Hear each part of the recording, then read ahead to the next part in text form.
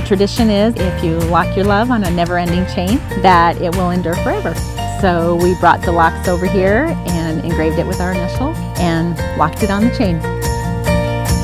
I saw it on Pinterest one time, and so we were like, why don't we just go lock our love in Lovelock? All of us came down here and kind of passed a pocket knife around and engraved all of our locks. It's another awesome memory to have.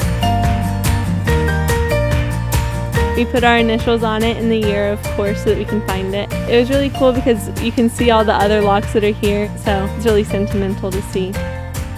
Kind of marks our place in history. I guess I just wanted to show him symbolically how much he means to me. I mean, just been an amazing husband, everything I could ever ask for.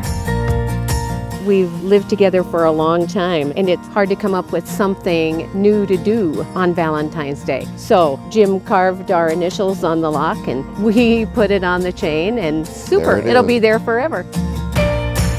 I think we had our love locked before we came here, but it's just a special symbol that every time we come through Lovelock, that we know we have a special lock here just for us that symbolizes our love for each other.